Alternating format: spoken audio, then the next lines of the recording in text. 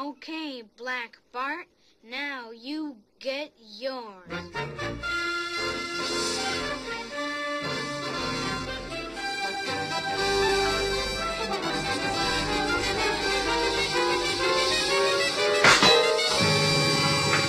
Oh my god, I shot my eye out. You'll shoot your eye out, kid. Oh, oh, oh. Politicians and judges treating Canadians like children. I'm Brian Lilley with Rebel Media. Don't you love that scene from, from Christmas Story? Ralphie getting told he'll shoot his eye out if he gets a BB gun? Well, unfortunately, some politicians, some judges, all on the progressive side, seem to want to treat Canadians as if they're Ralphie. They want to treat all of us as if we're some kind of kid that needs to be minded by his mother, by the mall Santa Claus in the Christmas story.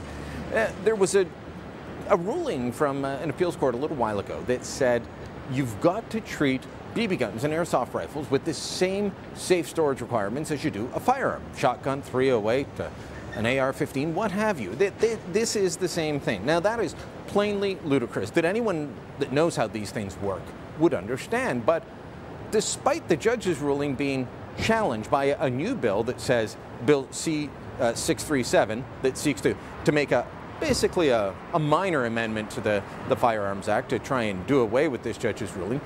Despite that, despite common sense, there are progressive members of parliament in the New Democrats and the Liberals standing up and saying a BB gun is as dangerous as a rifle.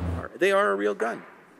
They are, they are something that will hurt somebody quite seriously. When I was young, I was hit with a pellet gun. Now, luckily, there, the wound was actually very, uh, very superficial because it hit a piece of leather on my shoe before it, before it hit my foot. And so I wasn't hospitalized as a result, but I very well could have been. Um, the Liberal Party of Canada is opposed to measures that put Canadians' uh, safety at risk, particularly when measures like uh, those in this particular uh, bill uh, would primarily affect uh, the safety of, of our children. Uh, thankfully, not all MPs think like that. I caught up with Robert Sopuck, a member of parliament from Manitoba, who is the one putting forward this bill to try and understand and, and get some common sense on the issue. I am proud to rise today to introduce my private member's bill, an act to amend the Criminal Code, firearms storage and transportation.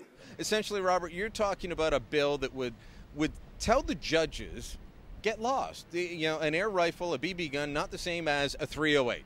Oh, for for sure, Brian. I mean, the judge's ruling basically overturned the trial judge. The appellate court did, and basically, if that ruling was allowed to stand, uh, BB guns and air rifles, uh, low velocity fire or weapon uh, firearms uh, with uh, fire less than 500 uh, feet per s- second would be considered as true firearms and subject to all the uh, storage and transportation requirements, which is clearly ridiculous. All right, so what would that mean for uh, someone like me? I got kids who like to shoot BB gun. Maybe we want to take, we're going to someone's cabin, we want to take it with us. All of a sudden, I've got to get paperwork from the chief firearms officer to, to transport a BB gun that I bought at Canadian Tire with no license? Uh, you wouldn't need that, but you would have to store the BB gun the same way you would store a normal fi- firearm. Normal storage requirements are that the firearm is locked in a case in one room and the ammunition is locked up in another room. But in this case, you'd basically be locking BBs up in a room and locking your BB gun up in another room. Again, that's clearly ridiculous. All right, so I happen to think that the, the storage requirements are a bit too onerous. I know I'm not alone in that, but the government has decided that's not something you're going to tackle at this point. Right. But as far as the, you know, looking at the these non-firearms, um, I mean, really, a BB gun's not a firearm. An airsoft rifle is not a firearm. Exactly. The term firearm can be broken up into two words fire and arm. And fire implies that there is a propellant that is ignited and it shoots the uh, projectile, and that's a true firearm. These devices, the BB guns and uh, airsoft rifles, are clearly not firearms. Now, the storage requirements, again, they're a compromise between protecting the rights of law abiding firearms owners and uh, protecting uh, public sa- uh, safety. And the public has said many times that safe storage of firearms is something that's very important. So, again, uh, all of our firearms legislation is that kind of balancing act. All right, so you've got Liberals and NDP MPs. I, when I heard about this, I thought, well, of course they're all going to stand up and say, sure, yeah, we all fired these sorts of things as kids.